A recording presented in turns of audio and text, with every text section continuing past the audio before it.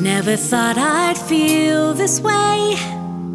And as far as I'm concerned, I'm glad I got the chance to say that I do believe I love you.